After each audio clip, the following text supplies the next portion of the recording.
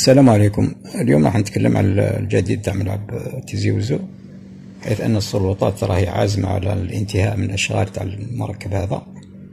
ولاحظنا ثاني زيارة تاع الوزير آه، إلى هذا الملعب في ظرف أسبوع.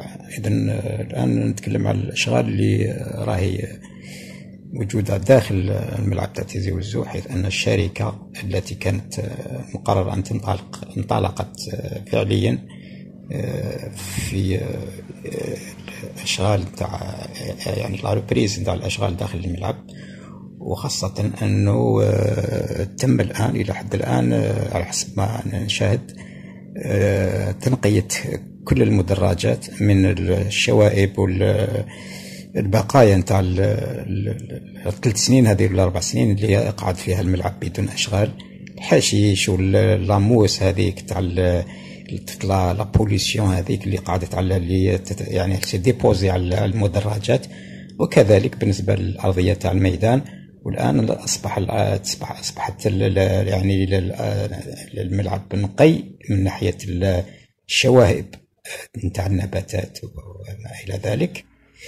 ونلاحظ بداية الأشغال نتاع استكمال الأشغال تاع النظام التصريف نتاع الملعب وكذلك بالنسبة لوضع المادة العازلة فوق المدرجات لحماية الإسمنت. وبداية كذلك وضع بعض في بعض الأجزاء اللي كان فيها المادة العازلة آه، بداية وضع الكراسي.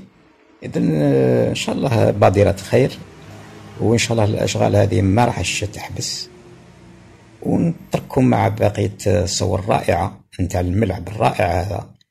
اللي حقيقة آه، بالنسبة لي هو أجمل ملعب وأفضل ملعب آه، في الجزائر من ناحية التصميم الداخلي تاع الملعب التصميم الخارجي الغلاف الخارجي والغطاء آه، فيه ما يعاب عليه.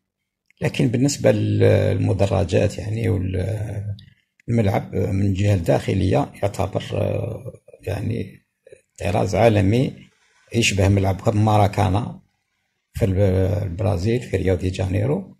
لكن بحجم أقل يعني أقل ملاعب لكن في الشكل ديالو يشبه ملعب ماراكانا. أترككم مع نهاية الفيديو السلام عليكم.